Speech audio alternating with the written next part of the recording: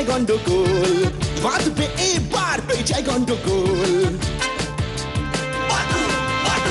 বাটুল বিচ্ছু দুটো ঢালবে মাথায় ভোল বাটুল বিচ্ছু দুটো ঢালবে মাথায় ভোল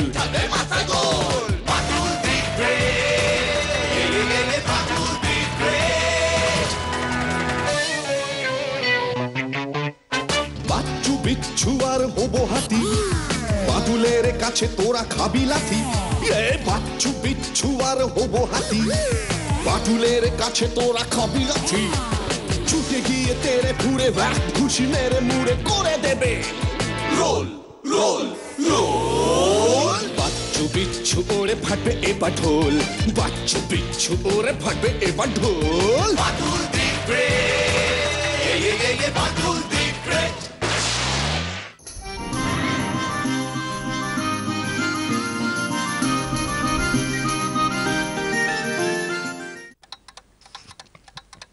আহ আহ কতদিন পর চিকেন স্যুপ খাচ্ছি। ঠাকুর বড় ভালো করেছে স্যুপটা। মাটুলদা মাটুলদা মাটুলদা। দেখো দেখো বিচ্ছু কি পেয়েছে। Magic spray. কি? Magic spray? বাটুল্লা বাটুল্লা তুমি টেবিলের উপর হাতটা রাখো। মানে? রাখোই না। প্লিজ রাখো একবার। হুম।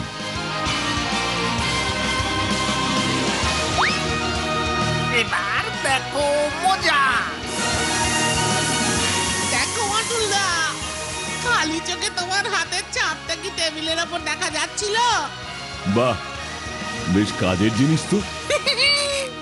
এই ম্যাজিক স্প্রে দিয়েই এবার আমরা দাগি চোর ডাকাতের হাতের চাপ পায়ের চাপ সব সহজেই উদ্ধার করতে পারব বাটুলদা। স্প্রেটা নষ্ট করবি না। যত্ন করে রেখে দে কাজে লাগবে। কাজে আমরা একটু সাহায্য করতে পারব ভেবে ভালো লাগছে গো বাটুল্লা। এই আনন্দে তোমার থেকে একটু স্যুপ আমাদের দেবে? আহ কি দারুণ টেস্ট সত্যি বাটুলদা ইংরেজরা কি দারুণ সব খাবার খেত। স্যুপ হলো চাইনিজ খাবার ইংরেজদের খাবার নয়। বাটুলদা চীন দেশে গিয়ে আমরা যদি আলু সেদ্ধ আর ভাত বিক্রি করি আমার মনে হয় দারুণ হিট করবে ব্যাপারটা। দেখবে? আমাদের আলু সেদ্ধ ওরা কেমন চেটে পুটে খাবে? বিচ্ছু। আমি দেখছি বাটুলদা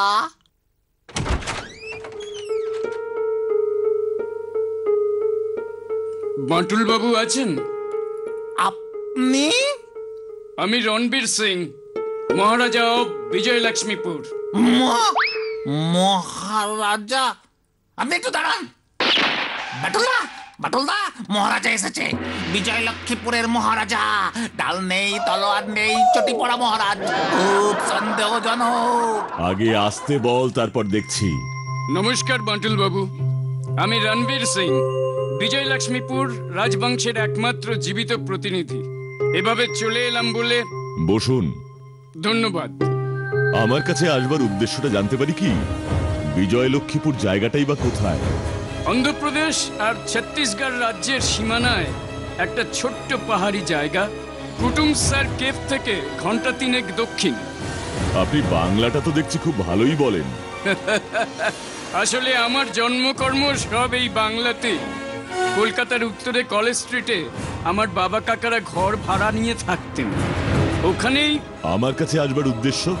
আসলে এই বিজয় লক্ষ্মীপুর নামে ছোট্ট পাহাড়ি জায়গাটা আমাদের বংশের একজন বিজয় সিং। ওই সময়ের হায়দ্রাবাদের নিজামের কাছ থেকে কোনো এক কারণে উপহার পান। এই বিজয়লক্ষ্মী রাজ্যেই আছে ছোট্ট একটি কেল্লা বিজয়গড় ফোর্ট। আর এই কেল্লার ভিতরেই আছে গুপ্তধন। বাবা গুপ্তধন? গুপ্তধন? একটু খুলে বলুন তো মশাই। সেকেন্দ্রাবাদ ফোর্টকে মুঘল সম্রাটরা অনেকবার দখল করতে চেয়েছিল। বিজয়গড় ফোর্টে অনেক মূল্যবান নথিপত্র ধন সম্পদ সরাতে থাকেন সেকেন্দ্রাবাদের নিজাম। এসব তো আমাদের ইতিহাস বইতে নেই।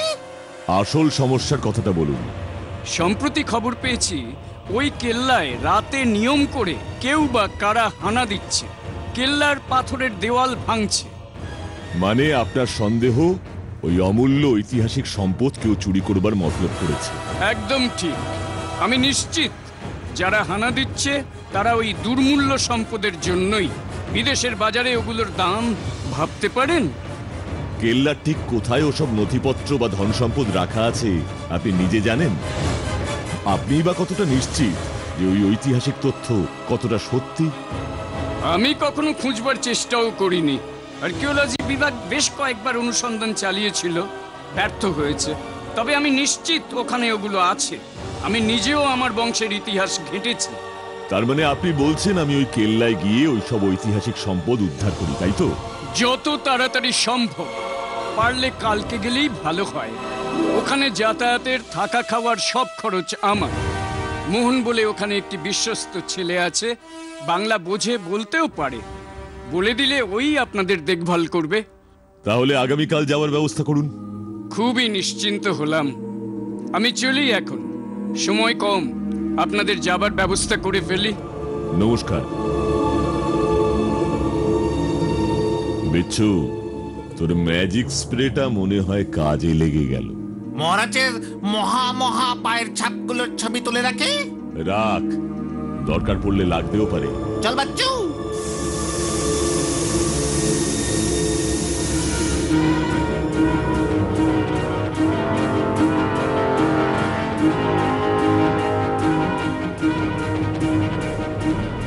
বাটুল্লাহ নিজাম মানে কি গো? রণবীর সিং যে বারবার হায়দ্রাবাদের নিজাম বলছিল। নিজাম মানে রাজা বা নবাব। আচ্ছা বাটুলদা তোমার কি মনে হয় রণবীর সিং ঠিক বলছে? ওই সব ধন সম্পদ নথিপত্র আদৌ কি কেলায় আছে? শুধুমাত্র ওর কথাতেই আমরা চলে এলাম। আদৌ ওই লোকটা রাজ রাজপরিবারের কিনা অন্তত কলেজ স্ট্রিট অঞ্চলে গিয়ে সেটা একটু দেখা উচিত ছিল আমাদের। আমারও যে এই প্রশ্নগুলো মনে হয়নি তা নয়। কিন্তু আমি এসেছি সম্পূর্ণ আমার কৌতূহলে। তাছাড়া ওই রণবীর সিং খামোখা আমাদের কেন গ্যাটের পয়সা খরচ করে ওই কেল্লায় পাঠাবেন শুধু ঘুরবার জন্য? ডাল মে যে কুছ কালা হ্যায় এ বিষয়ে কোনো সন্দেহই নেই। আমার কাজ শুধু ডালের মধ্যে ওই কালোটা খুঁজে বার করা। আর ওটা করতে গিয়ে যদি ঐতিহাসিক ওই মূল্যবান সামগ্রীগুলো পাওয়া যায় সেটা হবে উপরি পাওনা। বাটুলদা সেকেন্দ্রাবাদ আমরা কাল কখন পৌঁছাবো গো? গাড়ি লেট না করলে এগারোটা থেকে সাড়ে এগারোটা। এই অনেক কথা হলো এবার ঘুমো দেখি। আমায় একটু ভাবতে দে।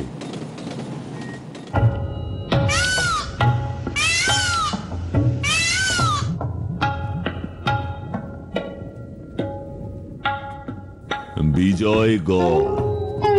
গড় মানেও কেল্লা। বাটুলদা এখনই উঠবে নাকি গো? মানে? পাহাড় বেয়ে উপরে উঠতে হবে? হেলিকপ্টার তো নিয়ে আসতে বলিনি। মহারাজ রণবীর সিং এর গেস্ট। মোহন। বাটুল সাহ হ্যাঁ। আচ্ছা আমরা কি ওই পাহাড়ের উপর থাকতে পারি? মানে কেল্লার কোনো একটা ঘরে? নেই আমার বাড়িতেই একটা ঘরে আপনাদের থাকার ব্যবস্থা হয়েছে। খুব খারাপ হবে না? আহ, সামনেই আমার ঘর। আসেন সাহ খেয়ে দিয়ে আরাম করবেন কাল থেকে কাম শুরু করবেন। সেটাই ভালো।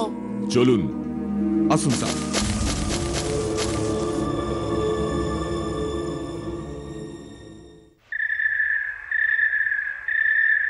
এই বাড়িতে তাহলে তুমি একাই থাকো? বিবি বাচ্চা ছোড়কে ইতনা দূর পড়ে আছি শুধু এই ঘরটার জন্যে। ছেড়ে দিলে বেহাত হয়ে যাবে। গাইডের কাজ কতদিন ধরে করছ? পনেরো ষোলো সাল তো হয়েই গেল সাহ আমরা কাল খুব সকাল সকাল কেল্লায় যাব ঠিক আছে বাবু তবে বিকেল পাঁচটার পর কিলা বন্ধ হয়ে যায় সন্ধ্যের আগেই এ, পাহাড় থেকে নেমে আসতে হবে জায়গাটা ভালো না আছে আজ আর বেরোচ্ছি না কোথাও পাশের ঘর মে এ, আপ লোগों के लिए শোবার ব্যবস্থা করে রেখেছি কোনো অসুবিধা হবে না শক্ত রুটি আর সবজি খেয়ে কোনো অসুবিধা হবে না রে বাচ্চু ওই দিকটাতে যে ঘরগুলো দেখছেন সাব ওগুলো ছিল মহারাজদের বেডরুম। আর এদিকের যে ঘর ইহা পর মহারাজদের গান মহল ছিল। মোহন ভাই মহারাজারা কি ধরনের গান শুনতেন গো? কাওয়ালি গজল তাই না মোহন রণবীর বাবু বলেছিলেন বেশ কিছু জায়গায় কেল্লার দেয়াল ক্ষতিগ্রস্ত হয়েছে। উনি সন্দেহ করছেন হয়তো চুপ চুপ সাব এই কেল্লা বহুত আজব আছে। দেয়ালগুলোই সব শুনতে পায়। আসুন আসুন দেখাচ্ছি।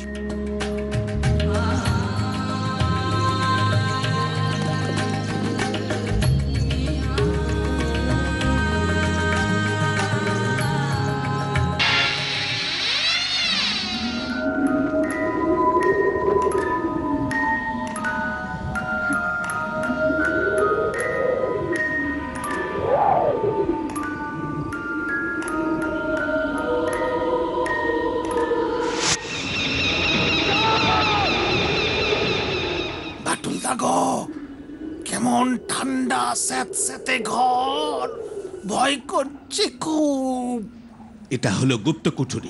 শত্রুপক্ষের রাজাদের এখানে বন্দি করে রাখা হতো। দম বন্ধ হয়ে এখানে লোকে মরে পড়ে থাকতো। কোন দেয়ালটা ভাঙার চেষ্টা হয়েছিল?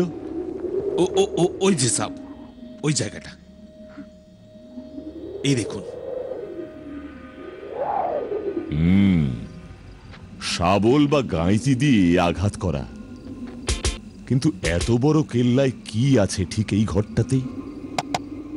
আর এই দেয়ালেই কেন? বাটুলদা! সরকারি সিকিউরিটি কত দূরে আছে।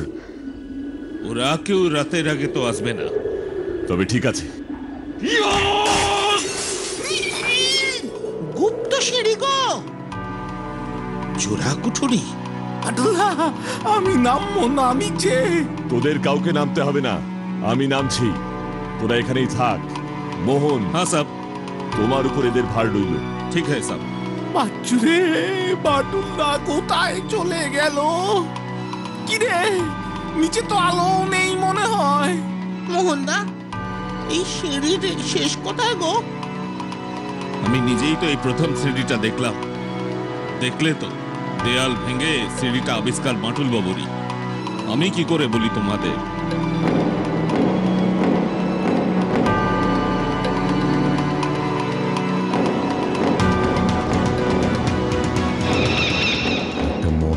পাচ্ছি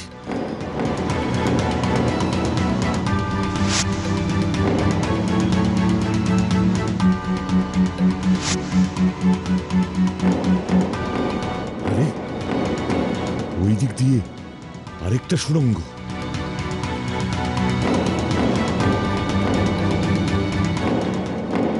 এখানে এটা কিসের চিহ্ন? হ্যাঁ? কে দিল এই চিহ্ন?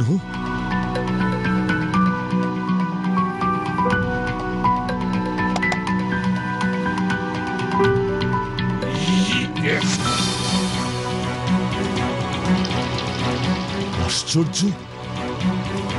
এখানেও একটা কুঠুরি। ওরে বাবা, এত জল কিসের?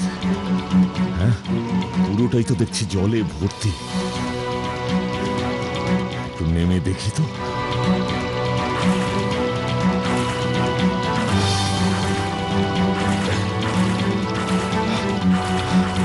পুরোটাই জলে ভরে আছে। ঠান্ডা জল। আরে পায়ে যেন কি একটা লাগল? হ্যাঁ? আমাকে দেখতেই হবে। দেখতেই হবে কি আছে নিচে।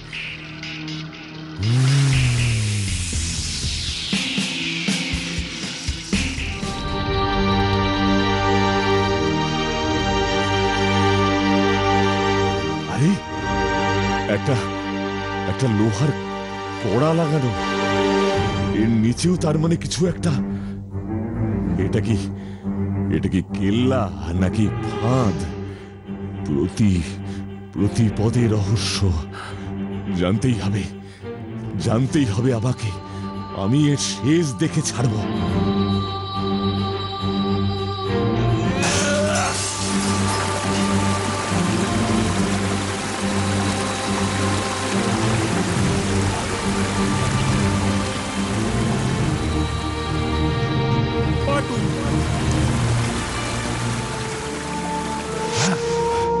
ওটা কি?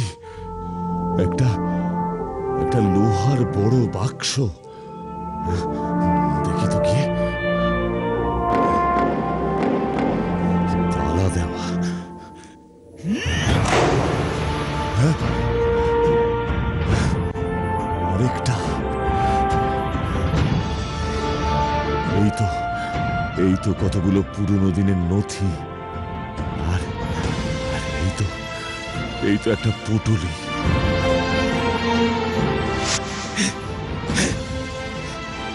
এই তো এই তো সেই গুপ্তধন।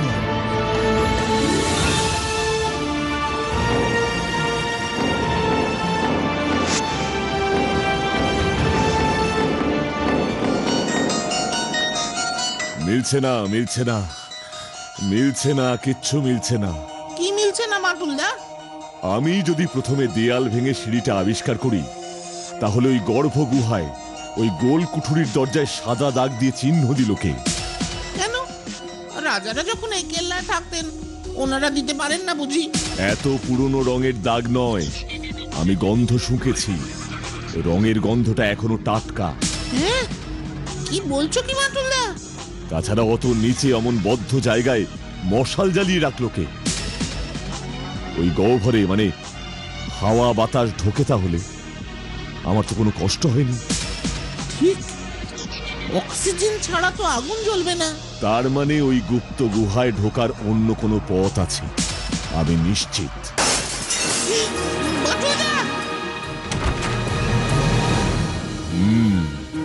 কেউ ছিল তার মানে এখানে? আমাদের আলোচনা শুনছিল। কি হয়েছে স্যার? কি হয়েছে? ও আবার এসেছিল। কে? কে এসেছিল? পাহাড়ি বেড়াল। বহুত খতরনাক আছে। কামড়ে মানুষ ভি মেরে ফেলতে পারে। বিড়াল মানুষকে কামড়ে মেরে ফেলে? ধম্বিয়াল ঘরে চলে যান সাব। রাতে বাইরে থাকাটা নিরাপদ নয়। যান যান ঢুকে যান। কাল আরেকটা জার দিয়ে দেব। চল ভেতরে চল। মোহনের চোখ দুটো তো আমাদেরই মতো। চশমা পড়লেই শুধু অমন বড় বড় ডেবা ডেবা লাগে। হাই পাওয়ারে চশমা পড়লে চোখ অমন বড়ই লাগে। চশমাটা তখন মোহন পড়া ছিল না। এই বিচ্ছু তোর ওই ম্যাজিক স্প্রেটা এনেছিস? হ্যাঁ বাটুলদা। বার কর বার কর বাচ্চু তোর ক্যামেরাটাও। ওই মোহনের ঘরের দরজা পর্যন্ত কর। এই জায়গাটাও। মাটুলদা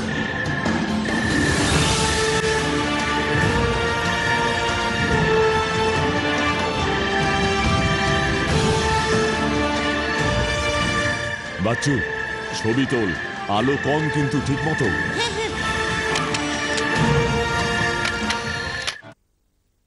বাটুল বাবু জলের জারটা বাটুলদা তো নেই।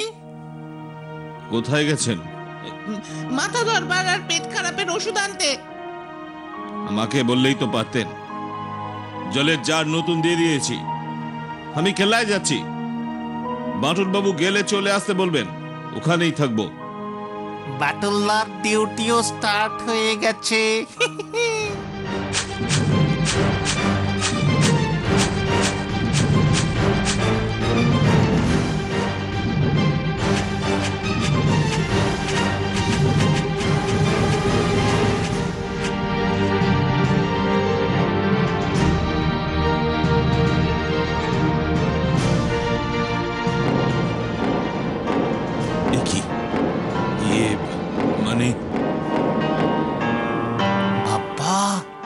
লোক এসেছিল রাত্রে। আমাদের দরজার বাইরে। মূর্খ এগুলো আমাদের পায়ের ছাপ। মাটুলদা মোহনদা যাওয়া আসার পায়ের চাপ হুম। বাচ্চু ওই ছবিটা দে তো। তার মানে রাতের বেলা মোহন বাইরে বেরিয়েছিল। এই তো বেরিয়ে যাওয়ার সময়কার পায়ের চাপ বিচ্ছু রণবীর সিং এর পায়ের ছাপের ছবিটা এনেছিস? এনেছি তো। দে তো। এই নাও। দেখ বাচ্চু কিছু বুঝতে পারছিস? আরে দুটো পায়ের চাপই তো একই রকমের গো মাটুলদা বিচ্ছু রে তোর ম্যাজিক স্প্রেটা এত তাড়াতাড়ি কাজে দেবে বুঝিনি রে। আমি কিছু বুঝতে পারছি না বাটুলদা। আপনারা কেল্লায় যাবেন না আজ? আরে মোহন বাবু যে আসুন আসুন। দেখুন দেখুন ছবিগুলো দেখুন।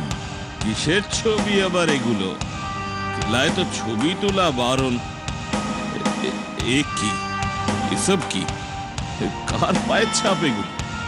মহারাজা রণবীর সিং এ রণবীর এ- সাহেবের পায়ের ছাপ? মানে এসব আসলে চোখটা কদিন ডিস্টার্ব করছে? এই চশমাটাও পাল্টাতে হবে? এবার ভালো করে দেখছেন মিস্টার রণবীর সিং। ওরফে মোহন। একে মানে? বেশি চালাকি করলে একদম এফোর ওফোর করে দেব। শাবল গাইতে নিয়ে চেষ্টাও করেছিল পারেনি। তাই দেয়াল ভাঙতে তোমাকে ডাকলো। আর আমি ওই গুপ্তধন উদ্ধার করে ওকে দেব কারণ ওর পরিবারের সম্পদ ওরই প্রাপ্য। কিন্তু তোমাকে এখানে পাঠিয়েও নিজেই চলে আসলো কেন? এত বড় কেল্লায় সঠিক জায়গাটা ওকে দেখাতে হবে তো। কারণ ও জানে সরকার আর পুলিশ ওর শাবল গাইতি নিয়ে চেষ্টার ফলে কেল্লায় মোতায়েন হয়ে গেছে। আমাকে দিয়ে কাজটা তাড়াতাড়ি হাসিল করিয়ে পগার পার হবে। তুমি তো বলছিলে ওই গহ্বরে অন্য দিক থেকেও ঢোকা যায়। দেয়াল ভেঙে ঢোকবার কি দরকার? অন্য মুখে তো পুলিশ পাহারা। ও। ও ঢুকেছিল নিজে রং দিয়ে চিহ্ন রেখে এসেছিল। কিন্তু বুঝতে পারেনি পুলিশ পাহারা বসে যাবে। তাই দেয়াল ভেঙে ঢুকতেই হতো ওকে। বংশ পুস্তিকা ঘাটতে ঘাটতে কেল্লার পুরো ম্যাপটা ওর হাতে এসেছিল। কেল্লায় যে এভাবে লোক ঢুকছে সেটা এক পর্যটক দেখতে পেয়ে আমাদেরকে খবর দেয়। আমরা বাইরে থেকে ওই মুখে পাহারা বসাই। গভর্নমেন্টকে জানাই। কি রণবীর সিং? গড় মানেও যে কেল্লা জানতেন না না? তাই যখন বিজয়গড় ফোর্ট বললেন তক্ষুনি বুঝেছি যে গোড়াতেই কোথাও গলদ আছে। তাই আমি চলে আসবার সিদ্ধান্ত নিই। থ্যাংক ইউ মিস্টার বাটুল দেশের এই মহামূল্যবান সম্পদ রক্ষা করবার জন্য শুধুমাত্র ধন্যবাদ দিয়ে আপনার এই এফোর্টকে ছোট করব না। এটার একটা ব্যবস্থা করুন আগে। মাতুলদা তোমাকে কি যে বলব বুঝতে পারছি না গো। স্প্রেটা কি বেঁচে আছে এখনও না পুরোটা শেষ? স্প্রে না থাকলেও তুমি পারতে বাটুলদা। তুমি সত্যিই গ্রেট তাই বুঝি। বুদ্ধি থাকলেই সব হয়। কি? তাই না?